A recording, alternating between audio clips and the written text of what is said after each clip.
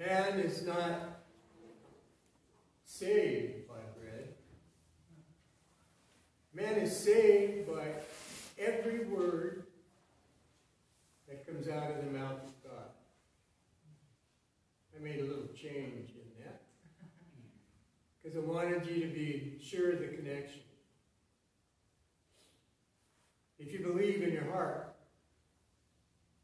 that Christ died and rose again, you're saved. And if you preach that word, you're saved. That's what it says in the epistle.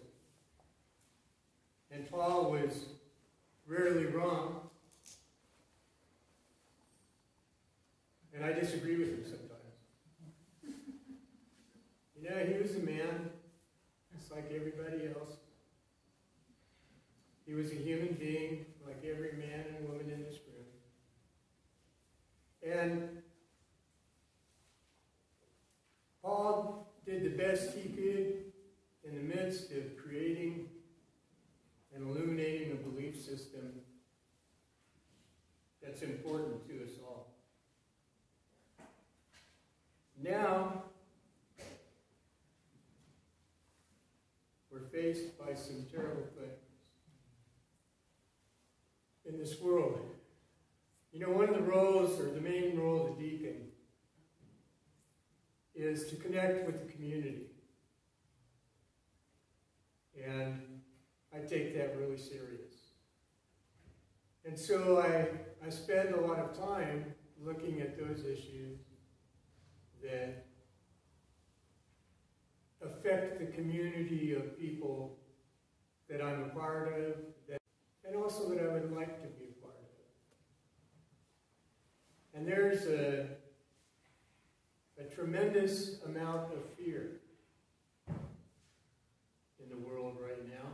You know, just when we think things are getting better,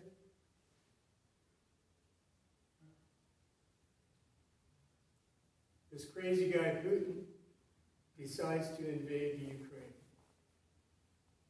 Just when things were starting to calm down a little bit. And by the way, uh, I wanted to let folks know if you when you're leaving today, if you want to congregate, congregate out on the porch because we kind of eliminate social distancing when everybody hangs out at the at the front of the church. So if you could remember to to do that, and also there's some K95 masks back there that I got especially for us. So if you'd like to take one, use it. Go ahead. We're all watching what's happening in the Ukraine. My wife said something really powerful to me. That's the kind of woman she is. She said, Would you be as bothered if it was a country in Africa that Putin invaded? I had to respond honestly. Probably not. What is wrong with us? You know, we are loved by God. We are loved by our Father. We are loved by Jesus Christ. And so we have the benefits of that love. And yet, something that is wrong in Ukraine is not also wrong in the continent of Africa. You know, if, if Putin had invaded Mexico, the only reason that that would get our attention is because of protecting the United States of America. But if he invaded South America, would we be as likely to respond the way we have? I'm tossing that out there because as human beings, we have a conscience and we need to pay attention to it. Now, not everybody has a conscience. I'm sad to say. I've known people who have no conscience, who feel no remorse when they do things. And uh, That's a very sad thing, but we're not like that. We have feelings we can trust about these things. And yet, you know, even comparing this issue to how we feel about other parts of the world somehow pales when you see a little kid who's been killed by one of those bombs. When you see older folks like me trying to get across the bridge that has been blown up to keep the Russians out of the city center. I saw those images on CNN. And I got to say that it's hard for me to watch these things all the time, but I also believe that as human beings, we have to be witnesses of these things. We can't hide from them. And we could have hid from the Ukraine issue until Putin started talking about nuclear weapons. That got our attention, didn't it? It's a scary time. It's a scary time. Man does not live by bread alone, but by every word that comes out of the mouth of God. It's, it's, a, it's a consideration that we can't ignore, but we can't stop living either. There are things that need to be done. There are people that need to be saved. And I'm talking about in a classic religious Protestant Baptist upbringing of mine. There are people that need to come to God. Some of them don't know it yet. That's our job. Our job is not in here. I've said this over and over again. Our job is out there. You know, we, we're not saved by a brick and mortar building. We're saved by the love of Christ. And so we continue with our labors.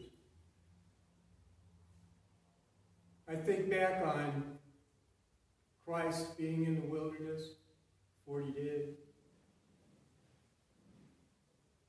fasting for 40, 40 days is a long time to go without eating. It's a long time. I fasted. And at the end of four days of fasting, no food at all, you begin to feel it. you begin to notice your body's not doing what you thought it ought to. It's not getting any nourishment. So thinking about Christ being able to endure 40 days. What a trial. You know, he'd recently been baptized. There was a transfiguration, God acknowledging his son, Jesus Christ. And then he goes out into the wilderness. If we've never been in a wilderness before, we are right now, folks. We're in a wilderness and we're wondering what's going to happen next. And we're trusting a 70 year old guy in a big White House in Washington, D.C. to make the right decisions. I am not convinced that most of the decisions that have been made in that big White House over the years are not the best decisions to have been made. But who am I? Who am I? I'm just a human being, right? A child of God as are you. And if we could find ways to help, we need to find ways to help. And I don't know what that, what that means right now. It's such an impossible thing to deal with. It would be like somebody standing across the, the, the river and lobbing rockets into Knoxville.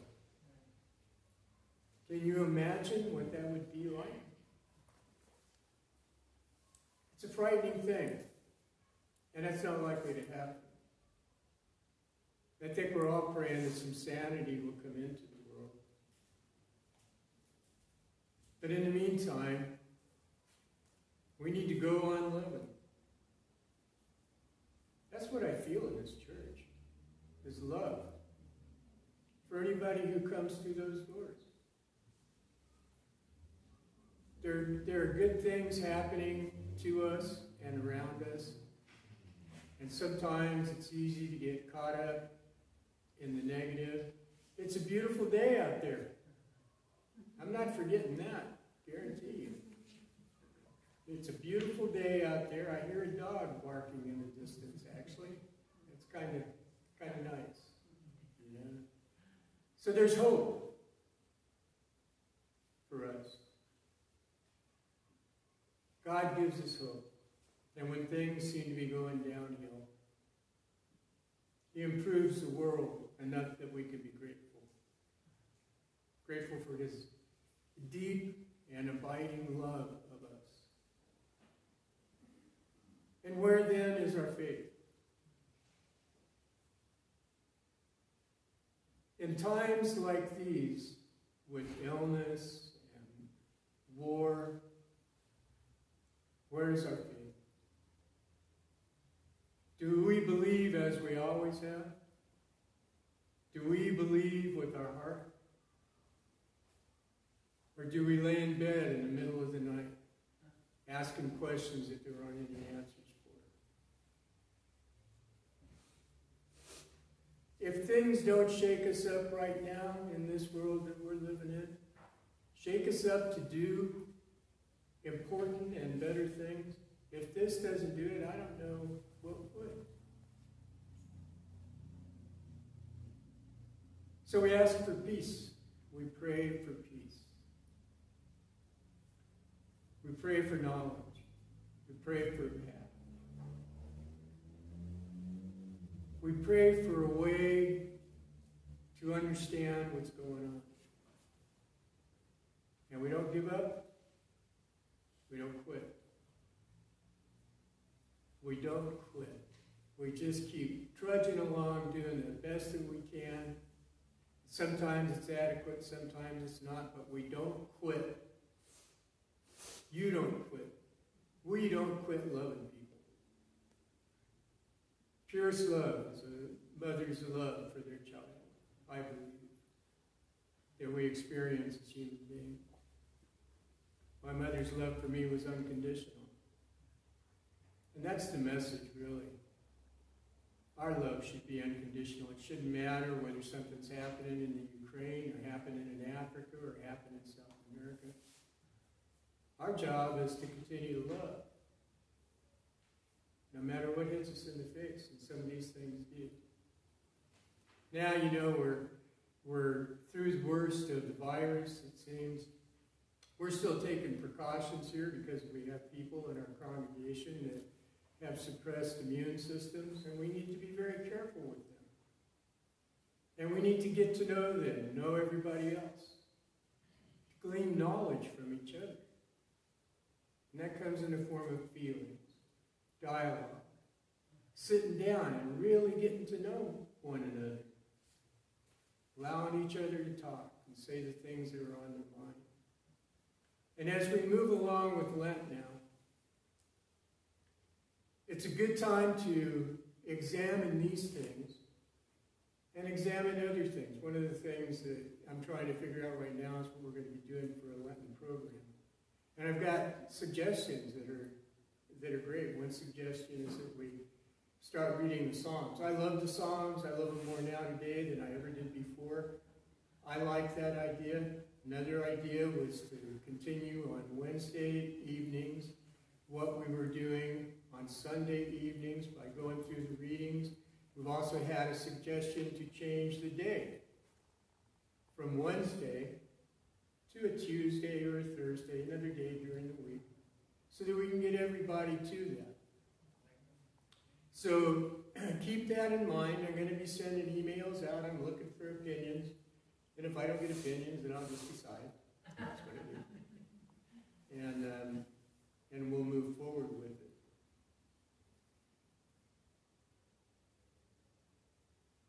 when you walk out that door today and you say goodbye to everybody here, be thinking about them babies in the Ukraine. And it's going to break your heart. We got to be witnesses. I believe that with my soul. That we can't defer looking at the reality of things and feeling the reality of things. I'm glad to be here today. To be a part of this congregation, to be a part of what you all are. To learn from you. God bless you and keep you. Make his countenance to shine upon you